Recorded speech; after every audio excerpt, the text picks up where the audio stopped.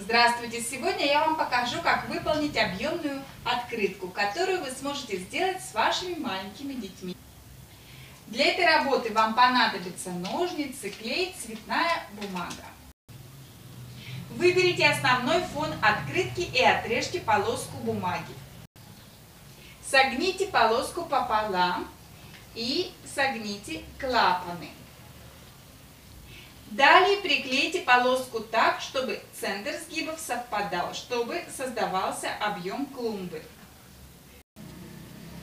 Теперь вырезайте цветы, чтобы приклеить на основной фон.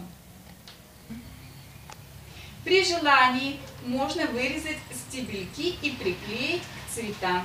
Далее остается украсить лицевую часть открытки. Если вам понравилась эта идея, не забудьте отметить. До свидания.